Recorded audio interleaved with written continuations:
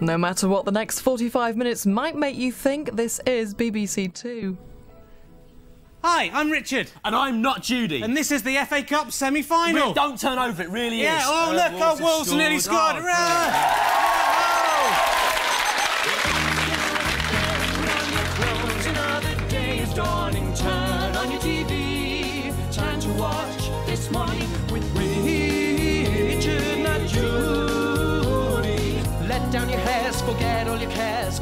Shoes. Here is the news. Take off your shirt. Here is the dirt. Take off your pants. Thanks with Richard, not Judy. For better, not worse, it's live, not rehearsed. Made for no money, surprisingly funny. Welcome your Red Bull Richards. Do they have no idea? So let's see how they do on this morning with Richard, not Judy.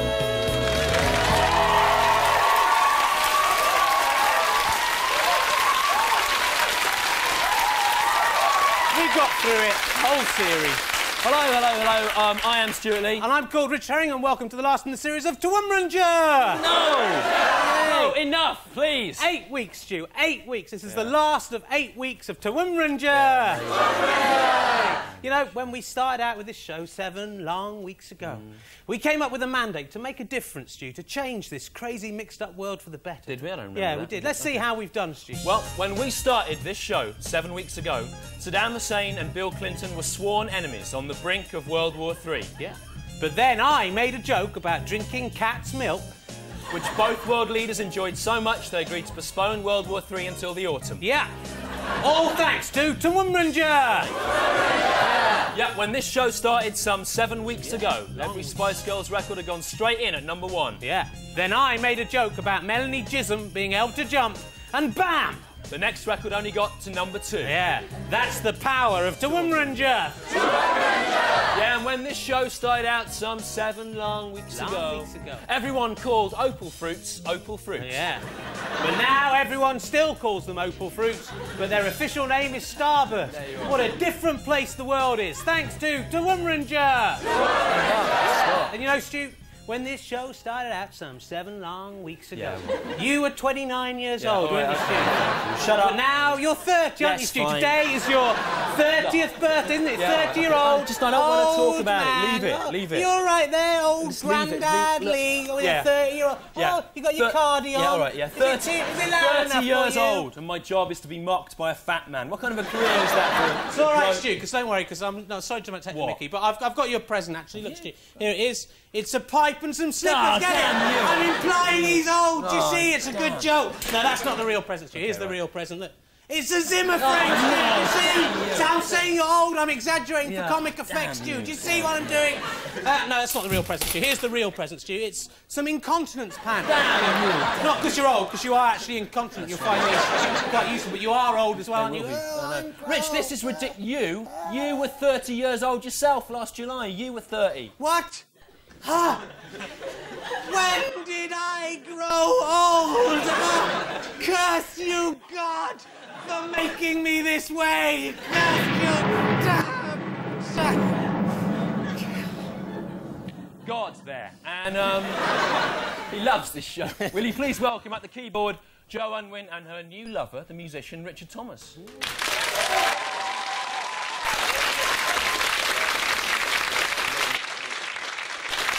God, of course, the only person who can watch us and the football at the same time. And uh, new bar slaves, Trevor and Natalie. Coming down the Look at them. Trevor and Natalie. They're easy on the eye. Wow, look at that. Trevor and Natalie. Whoa, Why? whoa. Why? Why are they dressed like this? Why? Obviously, Stu, Why? for Palm Sunday. Palm Stu, Sunday. yeah. How is that appropriate? Just is, Is appropriate, Right. that's all. Anyway, here are this week's aims. Aim one, to prevent any more babies being stolen from hospital by killing all newborn children in a King Herod style purge of the infants. Aim two, to have things called what they really are. That means changing Starburst back to Opal Fruits, Choco Krispies back to Cocoa Pops, Ant and Dec back to PJ and Duncan, and De Montfort University back to Leicester Polytechnic. A leopard can't change its spots, can it? Aim three is to celebrate Macaulay Culkin's forthcoming stag night by locking him in a house for an evening with two hardened criminals armed with real guns and spikes. And aim four is to save time and money in organising next year's Grand National by just having some horses shot at the start. And aim five is to have Prince William. That's just it, just to have Prince William. He's a good looking young man and he will be mine. Those are the aims for this week.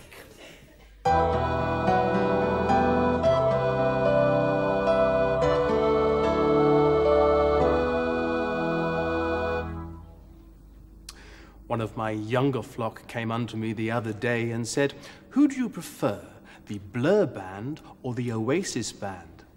Ah, I replied, Whatever passing fad or fancy may come or go, the Lord Jesus is number one in my charts all the year round. Yes, but ignoring Jesus for once, which band do you think is better? He countered. Ah, my ignorant friend, I continued, but we cannot ignore Jesus, for he is everywhere and in everything, and he is good. But the youth did not understand my words, which fell upon his ears like barley amongst the linoleum. He grabbed me around the head and said, No, not ah. Just for once, try answering the question without turning it round to Jesus or God or all that rubbish. Ow, I said, All right, stop it. You're hurting me. All right, it is the Blur Band. Good, he said as he arrogantly turned his back and left. But as he was going, I whispered, It isn't really. It's Jesus. Never heard.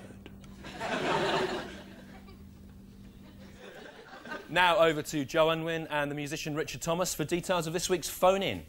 Yeah, this week's phone in aims to put to the test public feeling towards our inquisitive citrus fruit, the curious orange. Yeah, that's right, that's right. Yeah, good. Dial, right, dial 0891 338801 if you want to see the Curious Orange sing another song while accompanied by dancing children of every nation. And dial 0891 33 8802 if you'd like to see the curious orange crushed into a pulp with this juicer. Dial now. Like all mothers, Mother Nature is delighted to keep in touch with you when you're appearing in hit TV shows like BJ and the Bear or My Two Dads, but when you suddenly find yourself hosting When Insect Attack, oh, she becomes strangely distant. Hi, I'm Greg Evigan. This is When Insects Attack. This week, giant radioactive fly. See, there I am in the park, on my own, minding my own business. Then I hear like this kind of clicking sound. Remember, this is uh, genuine amateur camcorder footage, you know. I turn around and there's this great big giant fly, right? And before I know it, he's up on like his iron legs, like he's a man, like he's big, big, big, like a man. I think to myself, you've got to do something about this. So I run round the back of him, right? And I kind of lick him with a big kung fu chop. And before you know it, he's running off. The fly, that is. You see, right, I don't know the fly I got that big, right? But I reckon it must have been some kind of mutation business caused by radiation. Or it could have been from Mars or another planet. I don't know. But one thing I do know, he had a vendetta against humanity.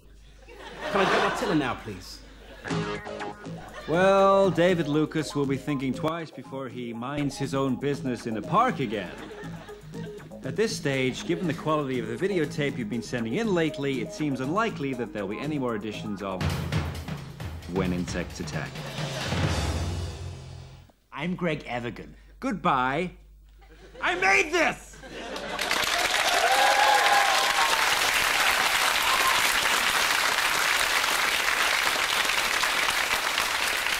When insects attack. There, or as everyone's calling it, we are.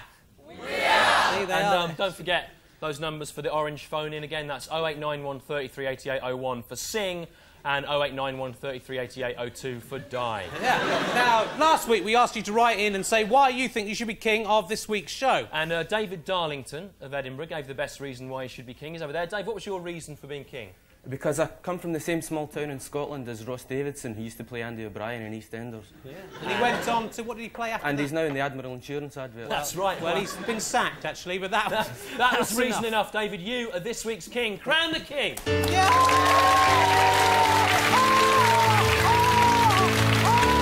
king is crowned. King's crowned. King David. There was another. Oh, there was another King David, wasn't there? He was very holy and good. Have you got an edict or a law you'd like to pass as Uh, king? yes, after the last week, I think it should be made illegal to talk about Coronation Street in public. Oh, Good okay. law. Well, we'll have to drop, drop some material from later in the show then. Never mind. Anyway, So, as king, King David, you will not only be touched by a man who has the head of a grown man, but whose face is so small it looks as if it is not grown since he was an infant, right? you will also get to eat and drink whatever you desire from this. the monarchy in crisis trolley. Yeah, here it comes. The trolley this week, dilapidated, reflecting the gradual collapse of the monarchy there. The flag's there all the nations who've left the Commonwealth.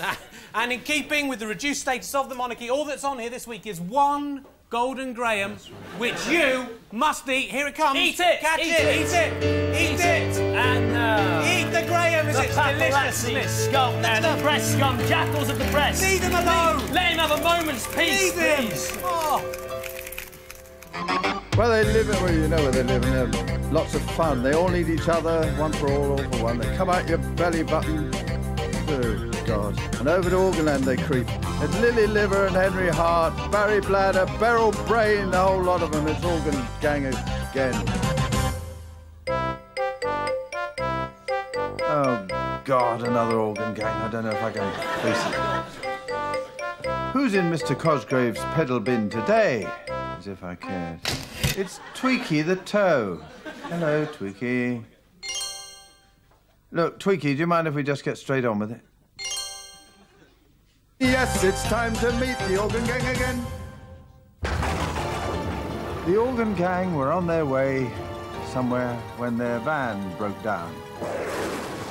It's no good, gang. We'll never fix this tire, said cheerful Henry Hart. Why don't we go and stay the night in that spooky castle? Oh, I get it.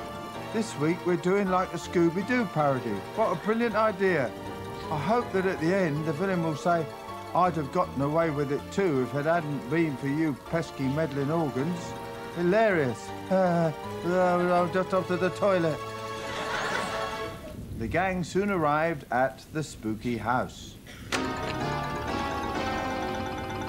I am Derek, um, Charlie, the caretaker. You keep away from this old house. It is haunted. I'm not the ghost, though. Oh, honestly, you know the score. The gang did stay at the house, and despite the fact that it's never a real ghost, they were still all scared as usual. Blah, blah, blah, blah, blah. I expect you think it's really funny doing a Scooby-Doo parody, don't you? God, I hate you lot, the public, with your low expectations. When I tried to do clever stuff on Trumpton, you never understood, and yet you lap up this trash like hungry rats. Can we get on, Brian? Television is a visual medium, not a soapbox for your half-baked grievances. Sorry. Yes, anyway. In the end, the gang caught the ghost in a trap as usual. Let's see who the ghost really is. Charlie the caretaker. Yeah, like there was anyone else it could have been. Wait! Derek Duodenum. That's right.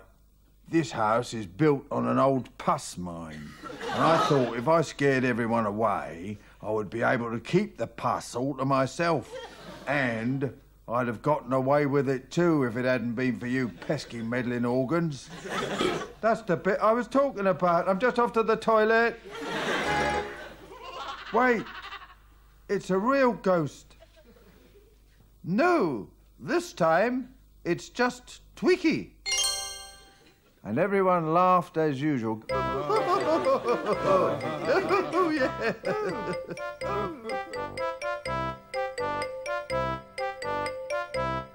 So, Tweaky, that's uh, nearly another episode in the can, isn't it? I'm Brian Kent, you know. Yeah, that's right. I used to work with Jeremy Irons on Playaway. if things had worked out differently, that could have been me on Brideshead Revisited and doing all that sexy stuff in Dead Ringers, but no, old Muggins here ends up doing this, don't I? Goodbye, Tweaky. Do I get paid now? No? Great! Tweaky the toe, oh, where'd you go? We got a job of work now. Tweaky the toe, no, no, no, na na na na, na na na na na na na na na. Hey, Tweaky, where'd you go? Woo,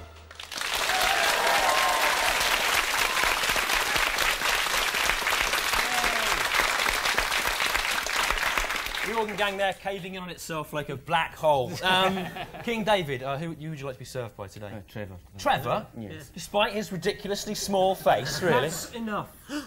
Trevor, you spoke. I said that's enough. I've had it.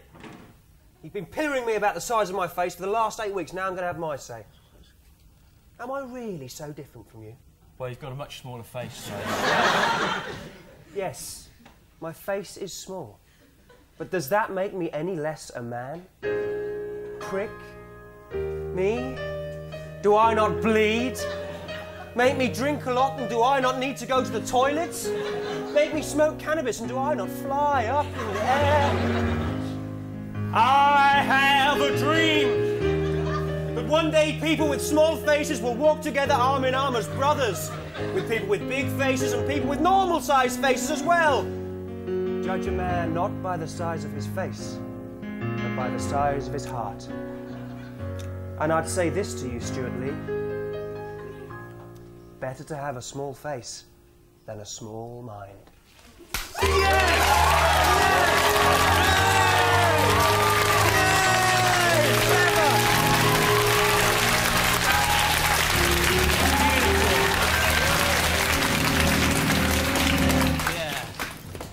That was very moving, Trevor. I'm sorry I was wrong. Now, let's all celebrate how wrong I was by all eating some of these new giant Smarties. Oh, that's a lovely You gesture, like Stu. Thanks. Yeah, great. What a good idea. Damn! They're too big for my tiny mouth! they don't fit in my mouth! Damn Curse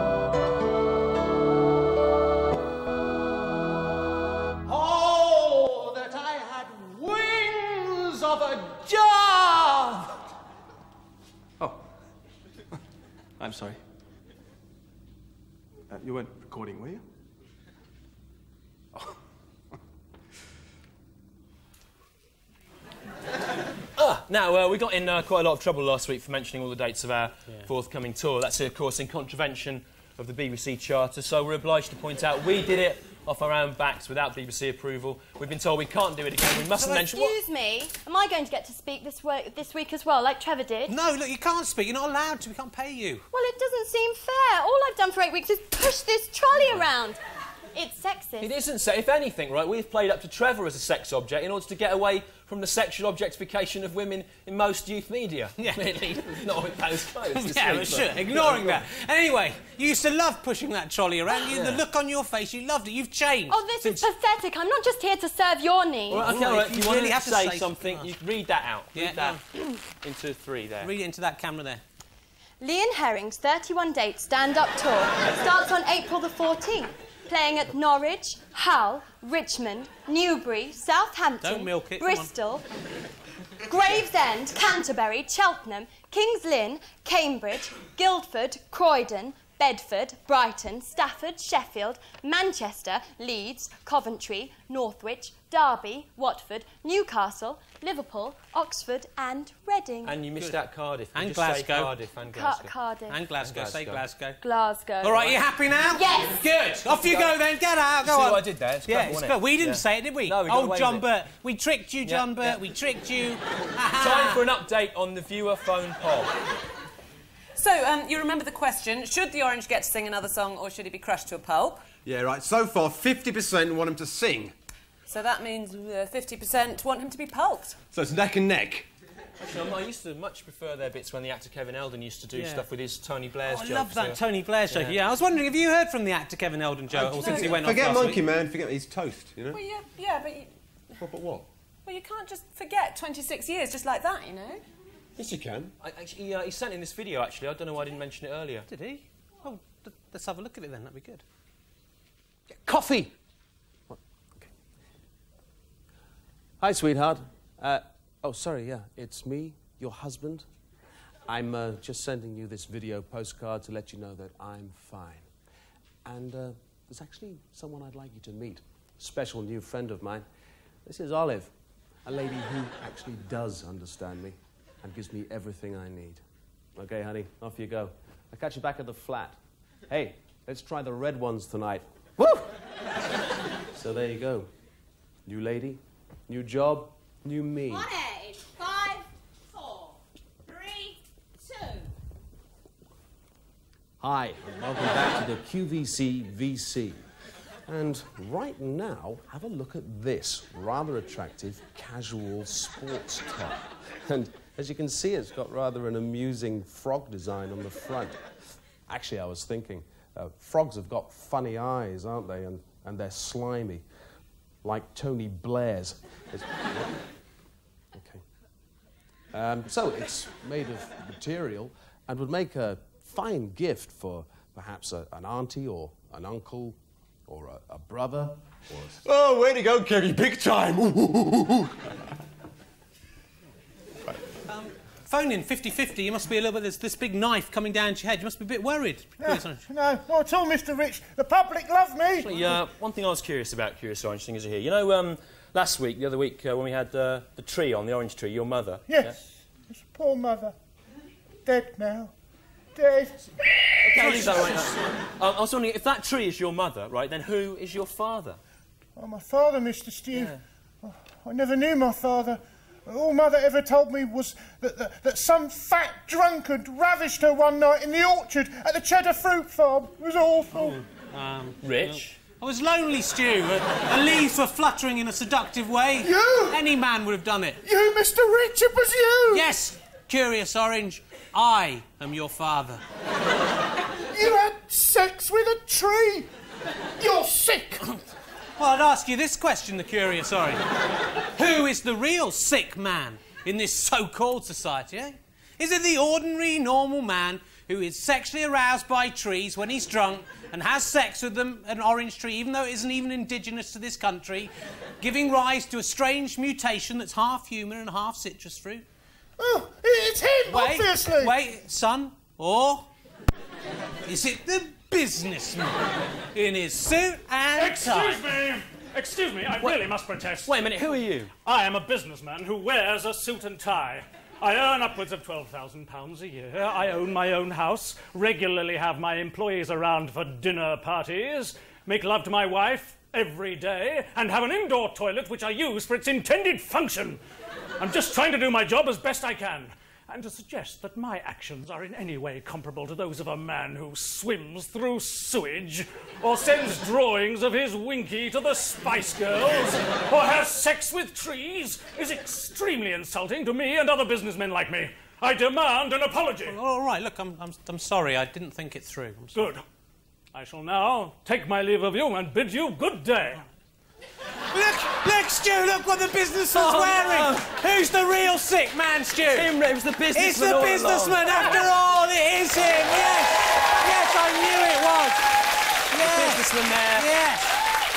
The businessman Wearing women's underwear, a homage to, or if you prefer, an exact copy of the old Kenny Everett joke there. that was literally sub Kenny Everett whimsy, wasn't it, Rich? That was Rich? Father, son. Mm.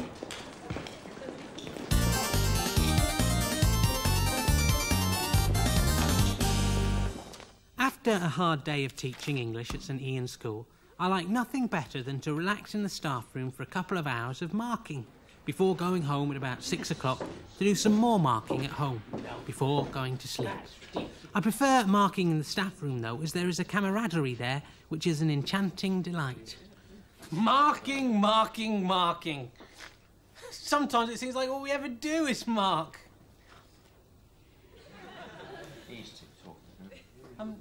Haven't you got any marking to do, Ian? No, I've done it all. How? How do you always do your marking so quickly? Well, it's simple, Alan. I don't really look at anything that any of the kids write, all right? What do you mean? Look, it's easy. Look, uh, Tom Lipton, right? His dad is a doctor and his mother's a university lecturer, right? A plus. He's bound to be good at English, isn't he? It's easy. It's only writing. But look, little Sarah Camkin, her mother is a cleaner, and her dad is dead. What chance a kid like that got in life? D minus. See? You can't do Look, Alan, I, I've got a lot to do. I've got to get through it. I'm going out on Sunday night to see Ocean Colour Scene at the Civic Hall, and I've got a spare ticket actually, Siobhan. So, I mean, sorry, excuse me, along? excuse I me, should- Siobhan. No, excuse. Are you really saying you judge children just by what their parents do for a No, living? not just by that, Alan. I work every day from nine o'clock to three thirty in the afternoon for nearly thirty weeks of the year, Alan. And I'm not about to waste my spare time by marking things written by people half my age. All right? now I'm going for a slash.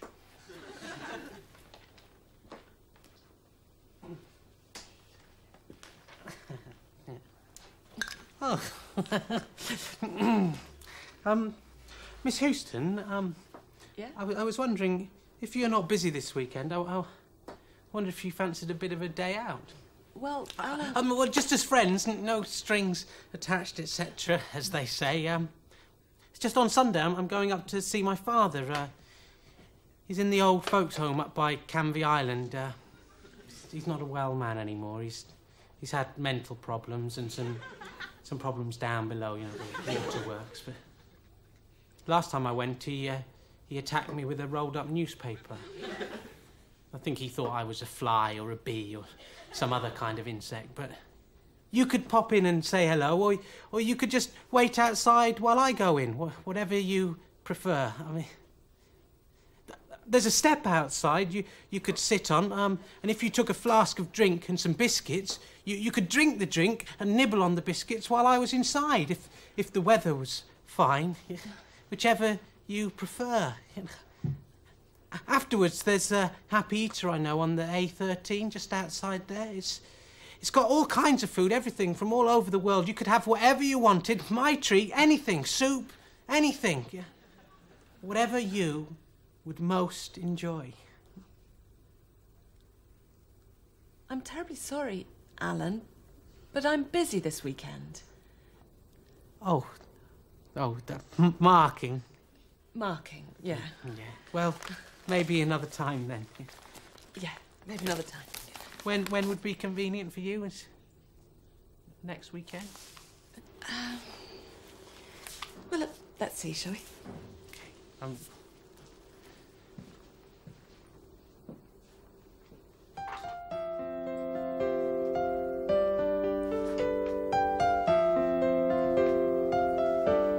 You know that one they uh, did when they come on?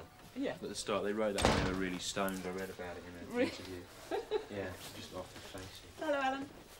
I, I thought you were busy at the weekend, Siobhan.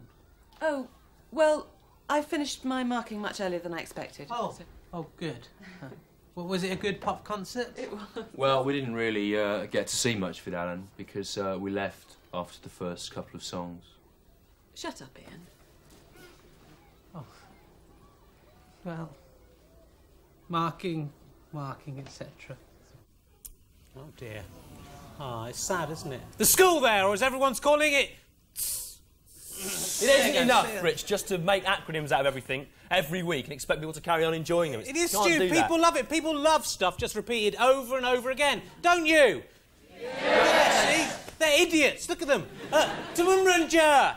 Stop. See, even Stop. when I've told them they're idiots, they Stop. still do it. They're mad. Stop doing repetitive stuff. Well, think of something new to do that is new and funny in a new way. Oh, so you want me to stop doing repetitive stuff Yeah. and think of something new to do that's new in a funny way, do yeah, you? I do. Yeah. You want the moon on a stick, No, you do. don't- you can't just go back to that old. Just leave it. You think, you can't just do something. that Isn't think of something that's funny. You, Like- you can't just say that isn't funny. I think that is funny Well, doing you know, that. I, I don't. I've Well, decided it isn't. Well, you, know. can't say something is or Okay, isn't well- funny. It's subjective. I'll, I'll show you how I can decide, Rich. Wow. How I can decide. I'm going to show you by playing you this uh, children's educational. You say this every week, I and don't, it's repetitive. Right, You say right, the that- same thing. That I have taped of Sky TV. TV. Yeah, there it A is. moon on a stick. That's what you want.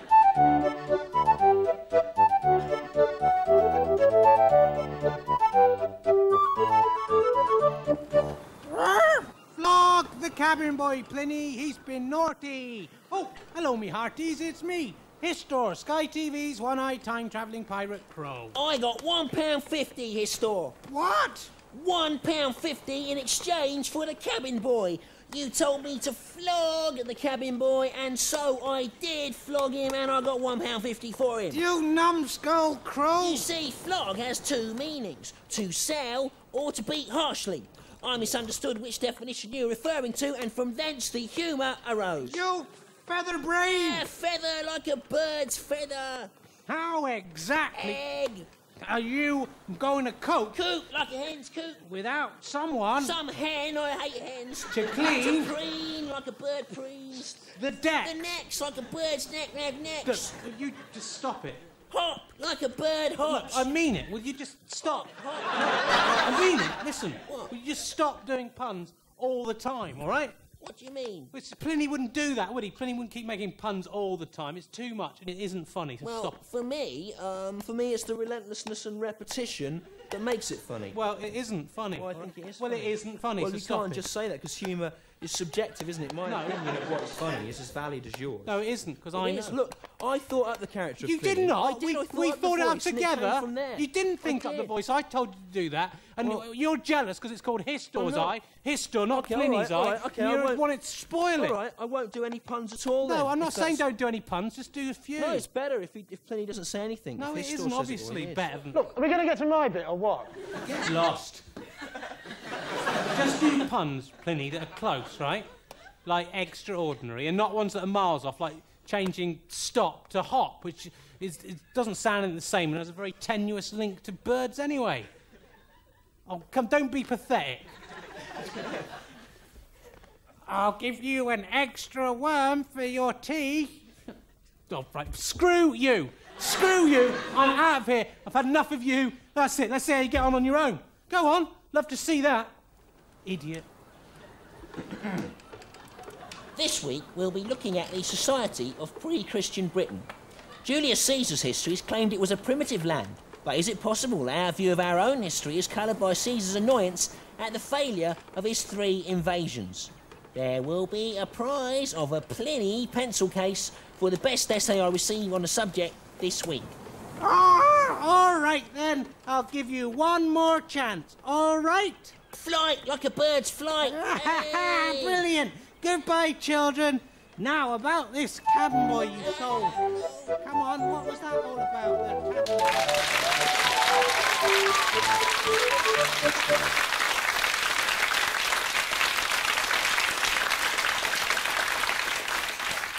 Do you understand now? Yeah, that's made it much clearer. Right. Those crows, I Yeah. love them. They're great. Uh, will they be on tour with us? I think they will Oh, be. good, Yeah. Right, ah, Cardiff but uh, that's- how will we pay the actors? I don't know. Okay. mind. But that's uh, it's that idea that, that what they did there. It's very Yeah. similar to a sketch I remember you doing on Fist of Fun about a blacksmith and a shepherd, isn't it? Yeah, well, for me, it's the repetition of the idea that makes it funny, as All right, I've explained. Yeah. Anyway, I've been looking at the old newspapers. The you old like the newspapers. old King David there? I've noticed this thing about people campaigning to get Deirdre in Coronation. Street Oh, out of prison. It's pathetic. They're wearing free Deirdre t-shirt. It really annoys me. People can't tell the difference between fiction and reality. yeah. You know. Next thing, old Tony Blair's be campaigning to get Norman Stanley Fletcher released. Wasn't he from Porridge? Yeah, did ridiculous. Wearing Norman Stanley. Yeah. Next thing you know, Tony Blair's will be watching In the Name of the Father, campaigning to get the Birmingham Six released. Yeah, the Birmingham? Six were real, Rich. They were. You see, people can't tell the difference between fiction and reality. Different situation. Like, the. They're not Birmingham Six. They're like the famous Five or something. like the they, famous they go, Five They go off on adventures, meet the Guildford Four, the Bridgewater Bridgewater.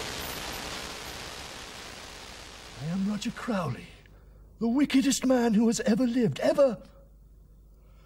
On Tuesday, I hijacked a goods train carrying a shipment of nuclear weapons.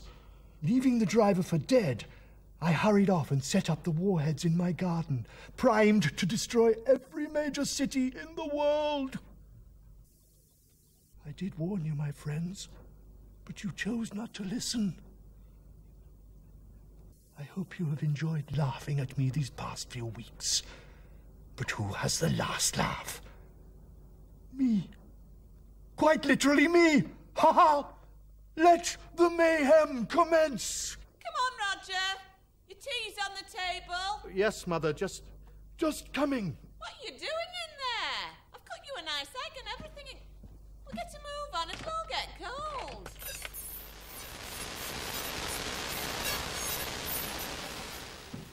Um, uh, sorry, I think viewers at home may have lost transmission again there for the eighth week running. Um, we were going to try and sort that out, but it hardly seems worth it now, does it? Anyway, Rich. It's very strange that, yeah. Well, we've uh, already seen him, and uh, you can vote about whether he lives or dies. Please let him live. He is my own flesh, blood, and pith. but for now, it's time for you to time for him to ask his curious question for this week. Please welcome the Curious Orange. Here he comes. The Curious Orange,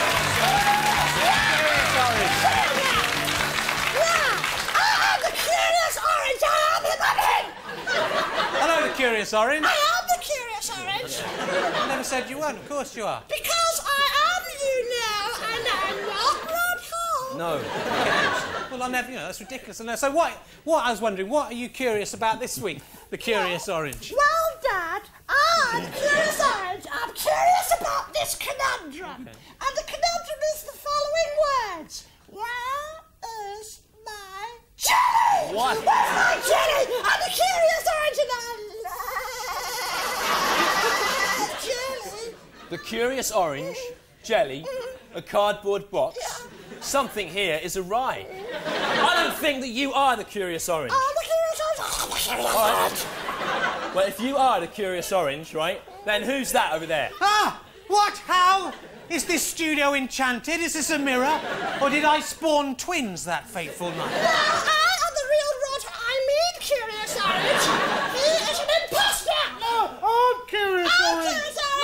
I'm curious orange. I'm curious orange. No, I'm no, curious I'm, I'm- I'm curious I'm- orange. I'm- I'm curious orange. Clearly. Listen. Oh, you poor mouldy fool. That is not my sound. This is. Ah. Curious orange, I All told right, you. all right, let's see. Let's see about that. Oh, no. Rumbled. No, I'm not the curious orange. No. I am Rod Hull. That was a brilliant disguise, though, Rod. Brilliant disguise. No, it was a wicked scheme to dress up as a curious orange so I could get free green jelly. Right. And you know what, fellas? I'd have gotten away with it too if it hadn't have been for you pesky, meddling twats. Right. This is a family show. You must not use language. It's a live show. I can say what the f- Show you flip can't. You You be quiet. So, You be quiet, Roger. Don't look So- so pleased so, yourself. Stop not- it. Don't do that. So Stop it. you are not the curious orange. No, I then. tricked you all. But you're not Rod Hull either. no, I am him. I No, am, you're no. I am him. I am him. And now I will bid you adieu because I am Rod Hull. Oh, it's, uh, it's very interesting, Rod, because a special package was delivered to the BBC today, and it was this green jelly. Jelly, you say? That's right, and there was a note attached to it that said the jelly could only be given to someone who was not Rod Hull. All right. I admit it. Anything for the jelly. I'm not Rod Hull. False arm. False chin. Now give me the jelly. Well, that is very interesting, Rod.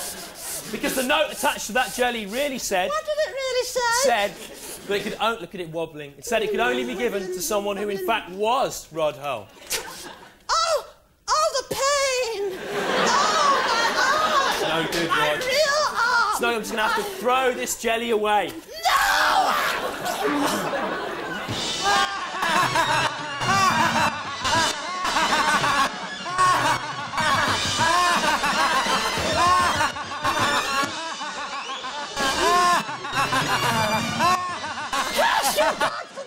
like jelly this way!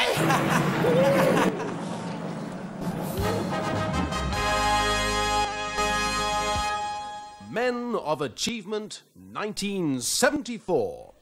This week's Man of Achievement 1974 is Harold Warner Munn from Massachusetts. He worked as the office manager for Stoker Lad Heating and is the author of The Werewolf of Ponkert.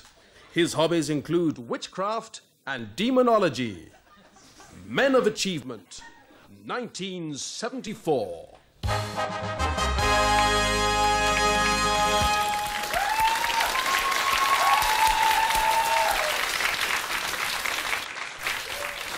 Men of Achievement there. As we said, um, that is the final show of the series today. Thank you for watching. If you are, They are watching, um, obviously. Uh, if you've just tuned in for the first time, I don't suppose this week's show has made much sense, but um, perhaps you enjoyed the colours and the swirling lights anyway.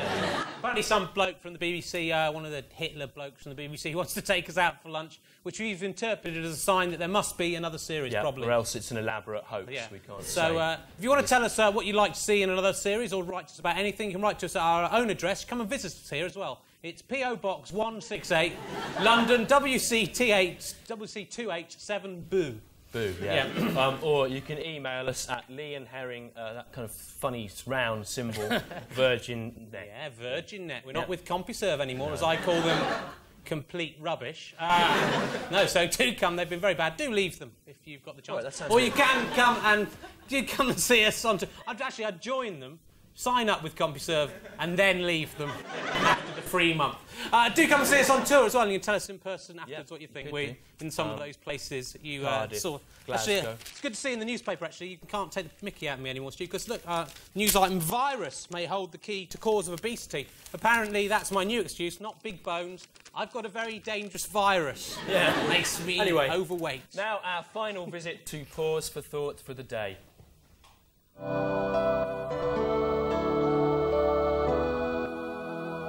The fool said to me, If God is good, then why does he allow bad things to happen? And I replied,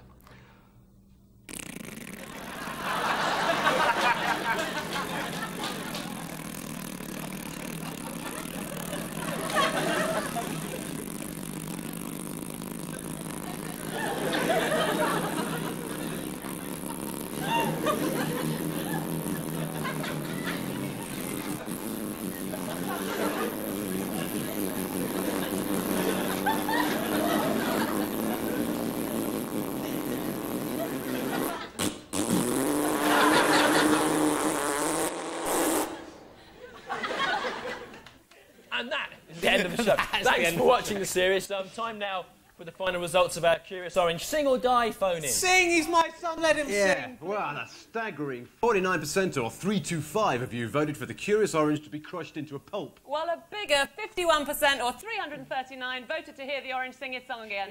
So the Curious Orange, sing your song! Oh, thank you for saving me. Go on, son, sing. Sing, Sing with out. all your heart. Sing out loud. Be proud. Come and dance, little children. I am in love with the world, with its sky and its seas and its plains. I am in love with the world as it spins round my soul again. I fell in love with the world when it gave me a place to be.